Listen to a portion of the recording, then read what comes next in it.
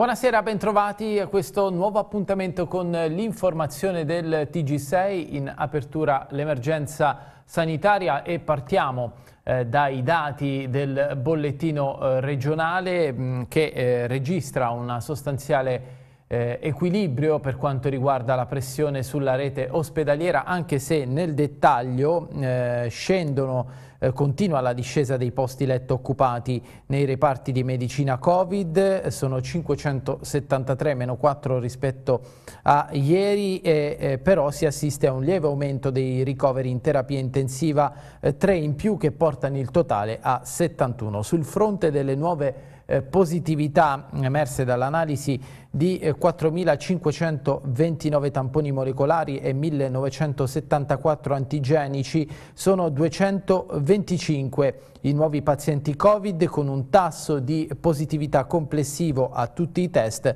del 3,7%. Nelle ultime ore purtroppo continuano a registrarsi decessi, sono 15 pazienti che non hanno superato eh, la malattia. E il totale delle vittime da inizio emergenza sale così a 1160 66. Gli attualmente positivi nella nostra regione sono invece 10.299 e scendono di 41 unità rispetto a ieri, così come in calo sono le persone in isolamento domiciliare. Le località con più casi sono Avezzano con 19, Vasto con 16, 15 casi all'Aquila e 11 a Pescara. A livello provinciale l'incremento più consistente si registra nell'Aquilano 89, seguito dal Chietino 60, dal Teramano 46 e dal Pescarese 30. Continua a scendere in Abruzzo l'incidenza settimanale per 100.000 abitanti, al momento è pari a 145 a fronte di una soglia d'allarme fissata a 250. La situazione migliore si registra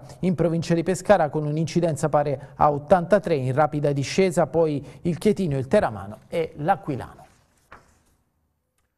e chiaramente eh, fare i puntati sulla campagna vaccinale che eh, prosegue nonostante le difficoltà legate all'approvvigionamento eh, delle dosi. Facciamo il punto con questa intervista al Presidente della Regione Abruzzo, Marco Marsiglio. Sui vaccini stiamo andando avanti, eh, adesso eh, concluderemo gli accordi anche con i farmacisti è partita la vaccinazione anche da parte dei medici di medicina generale che verranno progressivamente implementati. E a breve eh, anche la, diciamo, completeremo anche il meccanismo di adesione alla piattaforma di poste italiane per la prenotazione. Eh, quindi stiamo vaccinando nella media nazionale, insomma, la campagna procede sperando che non ci siano più difficoltà di approvvigionamento perché per quanto ci si continui a rassicurare a, verbalmente del fatto che i vaccini arrivino, eh, purtroppo c'è sempre una qualche eh, incertezza nella, nella, distribuzione, ma io spero, insomma i segnali degli ultimi giorni sembrano andare verso questa eh, strada positiva, che la situazione migliori e ci permetta di fare una pianificazione più più tranquilla e più, più robusta di quanto non si sia potuto fare fino ad oggi. E per quanto riguarda eh, la vaccinazione vedremo eh, quali saranno gli effetti e se ci saranno eh, della morte di una 83enne mm, un'ora dopo eh, la somministrazione di una dose del vaccino eh, Pfizer. La Procura di Lanciano infatti ha aperto eh, l'inchiesta per questa morte, una donna eh, come detto di 83 anni Celestina eh, De Santis, eh, decesso avvenuto ieri, un'ora dopo eh, la seconda dose del eh, vaccino anti-Covid. La vaccinazione è avvenuta nel poliambulatorio di San Vito Chietino in provincia di Chieti prima eh, di mezzogiorno. Dopo l'attesa di un quarto d'ora per eventuali reazioni siamo ripartiti in macchina, ha raccontato all'Ansa Sonia, la figlia della donna, ma dopo pochi minuti la madre si è sentita male. Una volta allertati i sanitari del 118 si è tentata la rianimazione con il mh, mm, trasporto al pronto soccorso dell'ospedale di Lanciano dove poi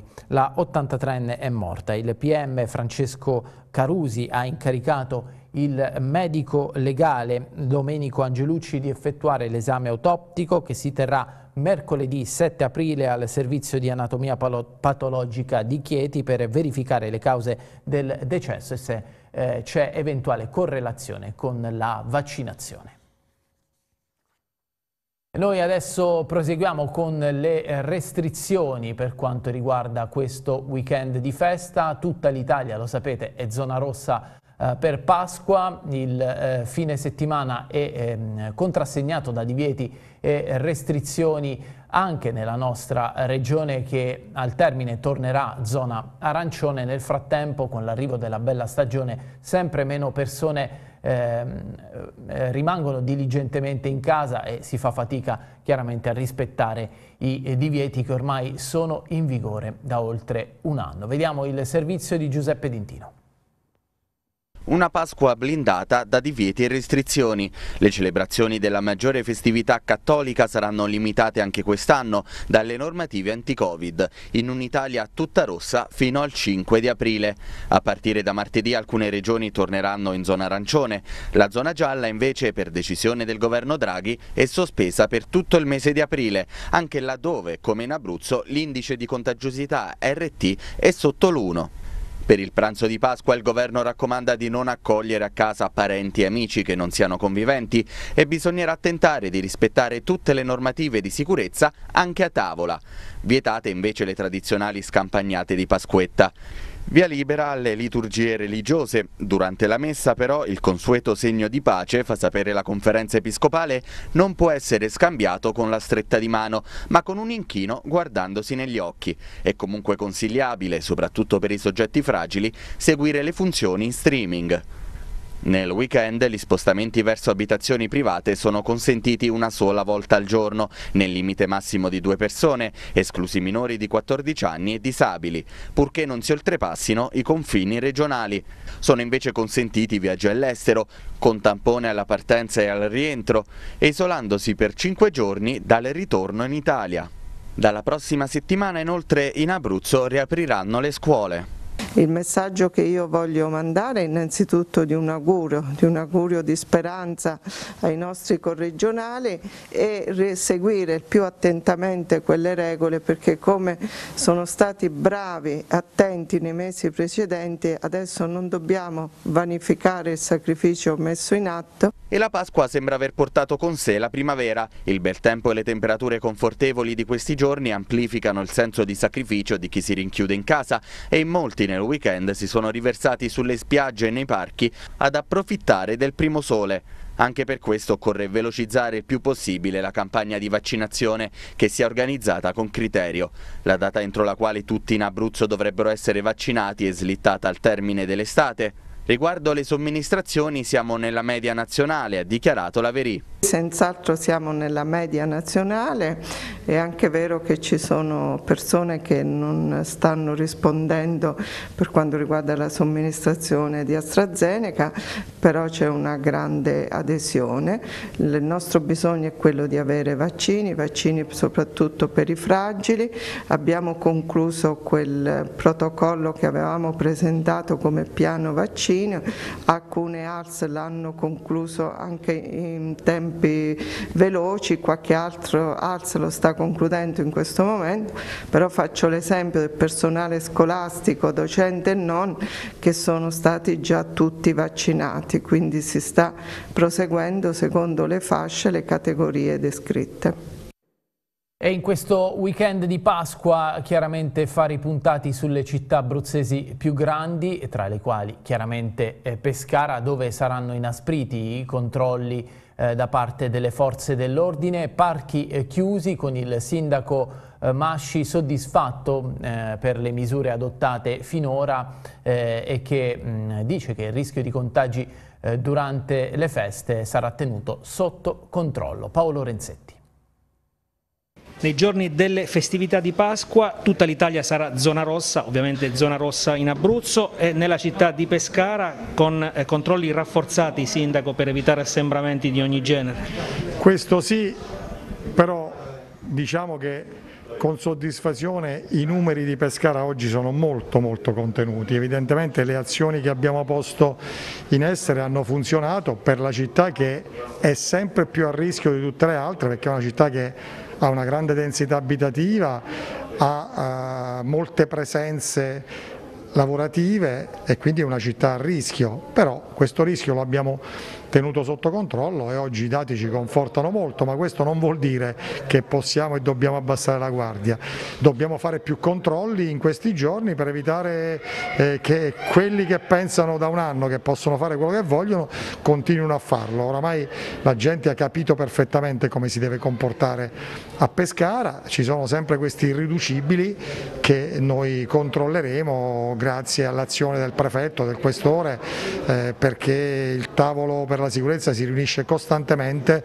Parchi e aree verdi della città saranno chiusi? Eh, i parchi e le aree verdi eh, saranno chiusi perché in questo momento è così, purtroppo è così, dobbiamo evitare eh, incontri, dobbiamo evitare assembramenti, dobbiamo eh, evitare tutte le situazioni a rischio e lo facciamo anche chiudendo in questo momento i parchi per i giorni pasquali. Un aiuto potrebbe arrivare dal meteo perché nei giorni di eh, Pasqua, alla vigilia di Pasqua è previsto maltempo.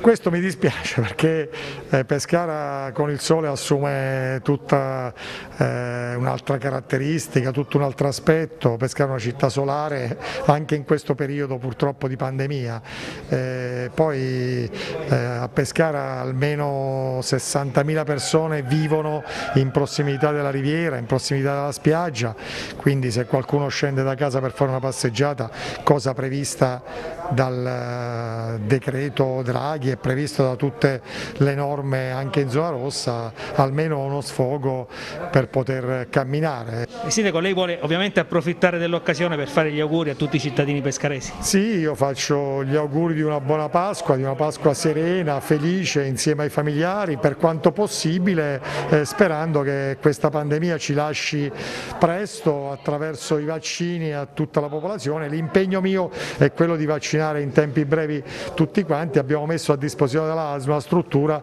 che è in grado di fare tanti vaccini e quindi di fare in tempi brevi la vaccinazione a tutti i pescaresi. Auguri, auguri, auguri.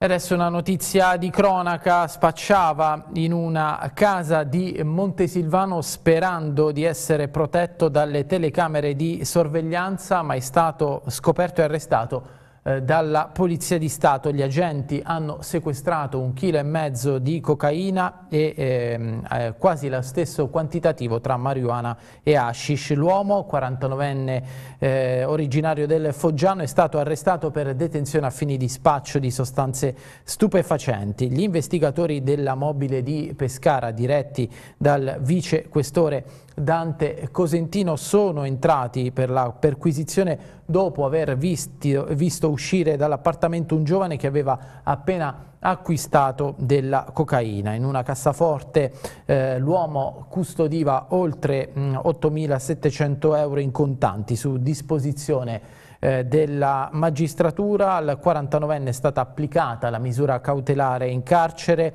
ed è stato ristretto eh, a Vasto in attesa della eh, convalida. E noi adesso andiamo avanti parlando di scuola. Nell'anno scolastico 21-22 saranno poco meno di 167.000 a fronte degli attuali 169.000 gli studenti che frequenteranno le scuole pubbliche abruzzesi, un calo preoccupante per la FLC CGL di Teramo che va combattuto eh, attraverso eh, la soluzione di eh, nodi eh, annosi strutturali della scuola, consolidando ad esempio l'organico docente e non docente il servizio. Prosegue il calo preoccupante degli studenti nelle scuole pubbliche del Teramano. Quest'anno sono stati 39.000 il prossimo anno saranno 38.413. In tutta la regione per l'anno scolastico 2021-2022 sono previsti 2.073 alunni in meno. Saranno poco meno di 167.000 a fronte degli oltre 169.000 dello scorso anno scolastico le studentesse e gli studenti che frequenteranno le scuole pubbliche abruzzesi. Queste le stime della FL FLC CGL Teramo, con la provincia che paga un tributo salato a queste riduzioni, inferiore solo a quella di Chieti che perderà 990 alunni, mentre 380 Pescara e 116 L'Aquila. Un dato che da solo documenta il persistente aumento della denatalità, delle migrazioni dalle aree interne che si accompagnano ad un esodo diffuso delle nuove generazioni. Si tratta di una vera e propria emergenza che dovrebbe determinare interventi di lungo periodo con proposte che affrontino i nodi strutturali di questi problemi. Le scuole stanno affrontando un periodo emergenziale ed anche per le iniziative sindacali la dotazione organica di diritto dei docenti resta confermata.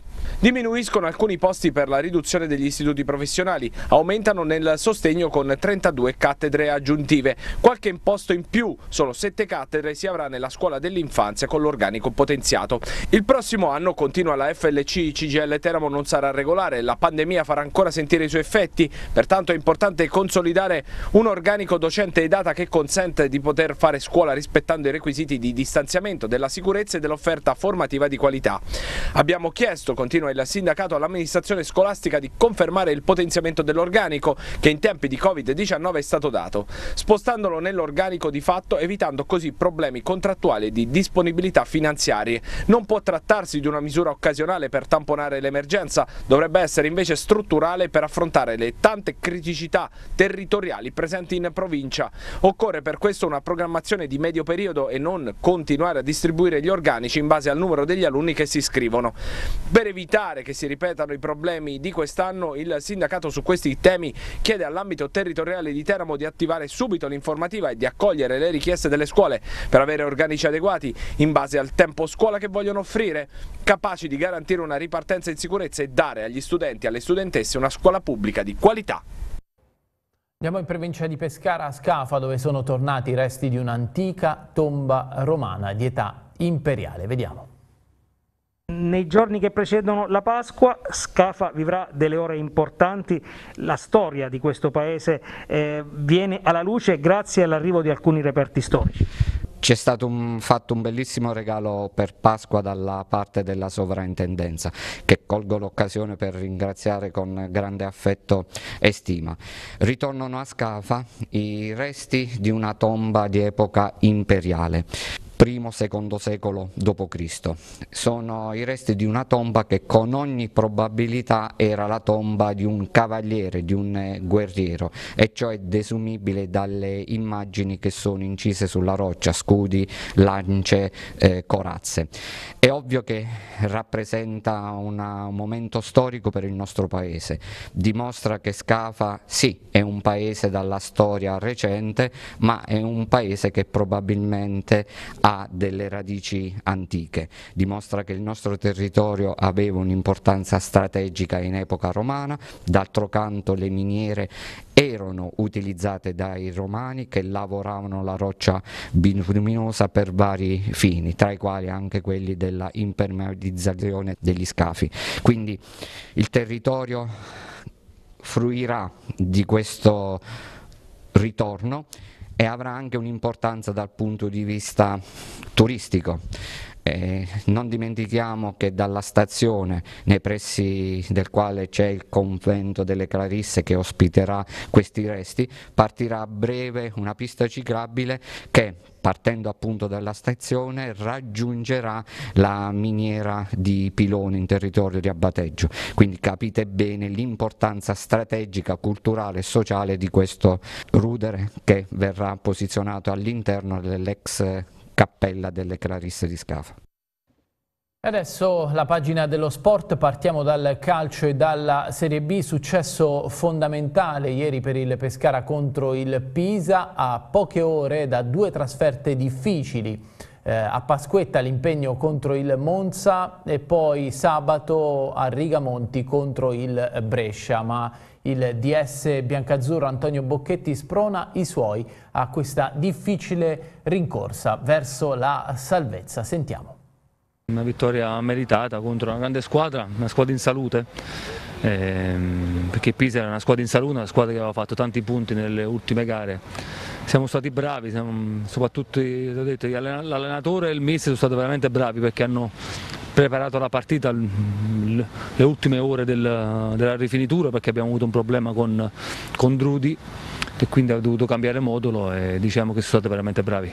Cosa è cambiato da Vicenza? Perché eh, Bocchetti aveva detto al 91esimo squadra che quasi non è scesa in campo, così non va bene, non è questo il modo di giocare le partite, passano dieci giorni, c'è la sosta e oggi col Pisa abbiamo visto in campo un'altra squadra. Ma sono sempre l'approccio delle partite, noi sbagliamo sempre l'approccio della partita, sia con, eh, sia con eh, il Vicenza, sia con l'Ascoli che con Pordenone. Abbiamo sempre questi primi 10-15 minuti che non, non, entriamo in partita, invece oggi si è visto dall'inizio che la squadra era, ehm, ha fatto me sicuramente meglio quindi l'inerzia della partita la sposti verso di te, quindi era tutto un pochettino più semplice. Poi ci sono queste due trasferte, tutt'altro che agevoli, però quest'oggi si è vista una squadra diversa e l'augurio che possa essere così anche delle prossime gare, soprattutto l'approccio, la cattiveria e quello che oggi i ragazzi hanno messo in campo, l'emblema, il gol di rabbia segnato da Macin per esempio. Sì, bisogna trasportare tutto quello che abbiamo fatto oggi nelle prossime partite che sono delle che andiamo a affrontare, Monza e Brescia che sono due squadre importanti però Anche noi siamo una squadra importante, dobbiamo crederci e portare qualcosa in più perché eh, affrontiamo due, due signore squadre.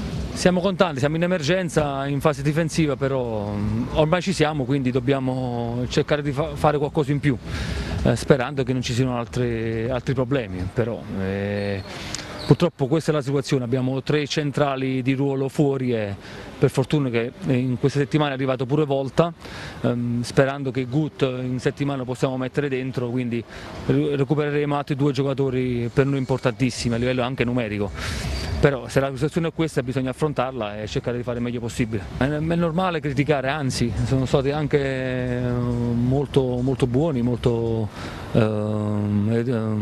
educati, eh, ci danno sempre sostegno, eh, è normale che quando le cose vanno male la squadra, la società viene criticata, ma è giusto che sia così, eh, siamo nelle zone basse della classifica, ci aspettiamo degli applausi, è normale che sia, ci sia un, un piccolo di, ehm, disappunto uh, nei, nostri riguardi, però la squadra uh, la dobbiamo isolare il più possibile per cercare di portare uh, un po' di positività e oggi c'è stata e quindi dobbiamo portare questo nelle partite che andiamo a affrontare. Adesso la Serie C, match eh, questo pomeriggio al Bonolis fra Teramo e Turris, vittoria scacciacrisi per i biancorossi che venivano da tre sconfitte consecutive, vediamo tutto nel servizio di Ania Cantagalli. Reazione doveva esserci e reazione c'è stata. Dopo tre sconfitte consecutive il Teramo torna a vincere battendo 2-1 la Turris, riuscita anche ad agguantare il momentaneo pareggio. Paci va sostanzialmente avanti per la sua strada e fa solo due variazioni rispetto a quella che è ormai la formazione consueta. C'è Di Francesco al posto di Lari, che consente anche al Teramo di fare minutaggio, e Lasic in difesa al posto di Vittorini. K e Belligea recuperati vanno invece in panchina. Nella Turris rientra Loreto nell'11 titolare dopo la squalifica con Giannone e Romano a supporto di Longo nel 3-4-2-1. Per più di 25 minuti c'è ben poco da raccontare, sia dall'una che dall'altra parte. L'unica volta che Teramo si presenta dalle parti di Abagnale è al settimo. L'Asic inizia l'azione e ci crede fino in fondo nel poter mettere in mezzo un pallone che Pinzauti non sfrutta come avrebbe dovuto. Poi Di Francesco al ventottesimo porta avanti la sfera bevendosi un avversario e chiamando Costa Ferreira in mezzo alla più semplice delle conclusioni. Il portoghese però spara molto più in alto rispetto allo specchio della porta. Dopo poco è la Turris a rispondere, ma Tascone non inquadra. Gli ospiti in generale non rinunciano a proporsi di manovra o provando a sfruttare le ripartenze con i brevilini davanti. Al 38 è Di Francesco ad avere un buono spunto in aria, trovando però esempio a Murardi la conclusione. Al 42 l'occasione più pericolosa della Turris è direttamente da calcio d'angolo con Giannone, che con il mancino per poco non trova un gran gol, ma scheggia solo in parte la traversa. La Turris sembra iniziare meglio il secondo tempo. Al sesto Romano fa partire un tiro che dà solo l'illusione del gol, fortunatamente per il Teramo. Il vantaggio del Diavolo però arriva pochi istanti dopo, con Bombaggi che dà via all'azione e confeziona l'assist che questa volta Costa Ferreira col mancino non può sbagliare per il suo sesto centro stagionale. Al decimo è Bombaggio a provarci da fuori aria, con palla che si alza di poco sopra la traversa. L'1-0 dà comunque alla formazione di Paci nuovi stimoli per andare in avanti, con più convinzione. Al diciannovesimo Santoro scende sulla sinistra ed è ancora Costa Ferreira a seguire l'azione e provarci d'esterno, mandando però al lato. I campani fanno fatica nella ripresa a proporsi dalle parti di Lewandowski, così dalla panchina si alzano via via l'ex Ferretti, Alma, Bojciuk e Signorelli. E proprio dall'ex biancorosso passa il gol della Turris che sale bene poco dopo la mezz'ora. Ferretti mette in mezzo per Alma che tocca quanto basta per battere Lewandowski e firmare l'uno pari. Chiaramateng per Pilzauti e Mbungo per Costa Ferreira sono la risposta di pace al pareggio della Turris, tecnico che in precedenza aveva già chiamato in campo Birligea per Di Francesco. La rivalsa del Teramo però passa da Bombaggi che al 42esimo riceve il giro di testa un bel cross di Birligea alle spalle di Abagnale rimasto a metà strada. È il nuovo vantaggio del diavolo, il settimo centro per l'ex Bordenone e soprattutto il gol che riporta i biancorossi alla vittoria che al Bonolis mancava dal 28 febbraio. Domenica prossima in casa della Cavesa ad ora di pranzo mancherà Tentardini, ammonito e già in diffida. Sull'1-1 credevo fortemente che potevamo vincere la partita perché ho visto uh, il fuoco da, eh, ne, ne, ne, nelle teste e nelle pance dei ragazzi e quindi ero straconvinto che avremmo, saremmo arrivati a vincere la partita e quindi quando abbiamo pareggiato ero sereno. Ero lo dico in maniera molto onesta. Questo non è un fattore solo per me, ma per tutti gli allenatori. Quando hanno a disposizione più giocatori da poter far subentrare è tutto più semplice. Che Rimateng veniva da tre mesi eh, di inattività e, aveva bisogno di tempo, Birli già è stato tre mesi fuori, insomma eh, e quindi sì, quando ho i ragazzi a disposizione per me è tutto molto più semplice. Abbiamo affrontato una, una squadra forte, secondo me avevamo di fronte una squ- un'ottima squadra allenata molto bene, faccio i complimenti al loro allenatore perché Bruno Caneo è un allenatore di, di spessore secondo me e la mia squadra stata, ha interpretato in maniera perfetta la partita e poi eh, siamo stati bravi a, ad ottenere la vittoria. Andiamo avanti, abbiamo vinto questa partita, siamo molto contenti. Eh, in questa settimana siamo stati criticati fortemente, eh, la squadra è stata criticata pesantemente, fortemente. Eh, io sono molto orgoglioso di questi ragazzi, ma sono orgoglioso soprattutto dello spessore umano di, di, tutti i ragazzi che ho a disposizione, non solo della caratura tecnica, perché non sono io che, che, che, che devo metterla in luce, lo sappiamo la loro forza, ma del loro spessore umano. Eh, che hanno risposto sul campo a tutte queste critiche, perché non c'era maniera migliore per loro di dimostrare lo, il loro spessore umano, di rispondere sul campo a queste critiche. Io di questi ragazzi vado fiero e credo che in molti dovrebbero essere fieri di loro e di come lottano per questi colori. Eh, possiamo aver avuto qualche battuta d'arresto, lo so, ma è proprio in quei momenti che i ragazzi vanno sostenuti ed appoggiati, se si crede in loro. Quello che noi come gruppo squadra abbiamo fatto sempre. Ragazzi di uno spessore umano oggi hanno dimostrato di essere di uno spessore umano per me di un'altra categoria. Adesso la Serie C, eh, dopo il turno infrasettimanale di questa settimana con Jacopo Forcella andiamo a fare il punto della situazione. Dieci giorni di stop prima di riprendere il campionato domenica prossima. È una Pasqua che col turno di giovedì ha ridisegnato inevitabilmente le gerarchie del girone F di Serie D, che ha ormai una candidata d'obbligo al successo finale, il Campobasso. Dopo il successo nello scontro diretto con il Notaresco, la squadra di Epifani non resta per cercare la rimonta che sperare che i molisani inciampino da qui alla fine del campionato, anche se l'11 di Mirko Cudini ha dato una sensazione di forza che in casa Notaresco non lascia sperare granché. La distanza distanza in teoria non è incolmabile, ma lo scontro diretto potrebbe lasciare delle scorie dal punto di vista psicologico.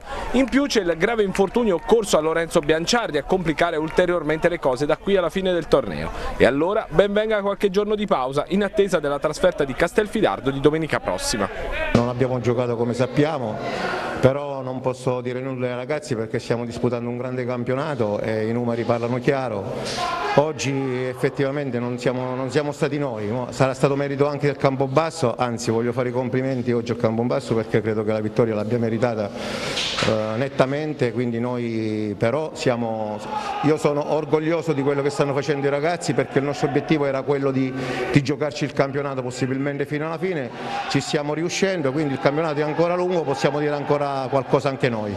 Si diceva del Campobasso, capolista in ogni caso in questo momento, anche tenendo conto del recupero in più che dovrà disputare il notaresco. I molisani alla ripresa proveranno a consolidare un cammino con poche sbavature tra le mura amiche contro quel Castelnuovo che vinse all'andata non senza polemiche.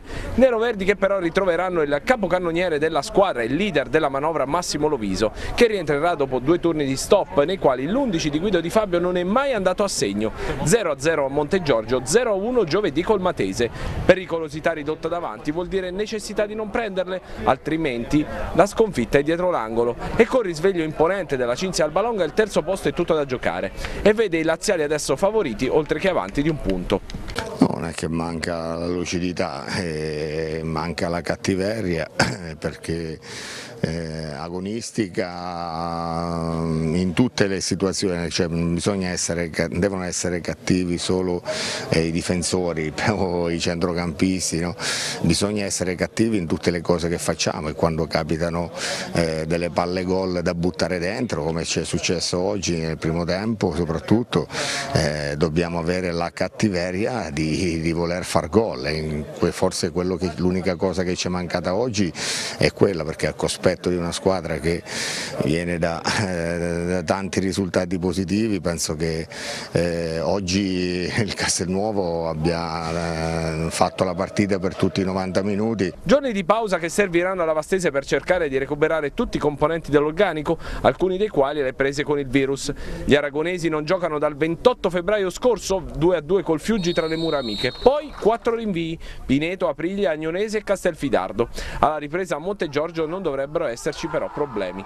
E domenica continuerà a Rieti la marcia del Giulianova nella rincorsa alla permanenza in categoria. I giallorossi sembrano essere diventati estremamente solidi e davanti in grado comunque di trovare sempre una soluzione pericolosa. Barlafante sembra trascinare la squadra, Paudice a quota 8 gol e nelle ultime settimane anche Massetti dà l'impressione di poter essere decisivo a ridosso della porta avversaria.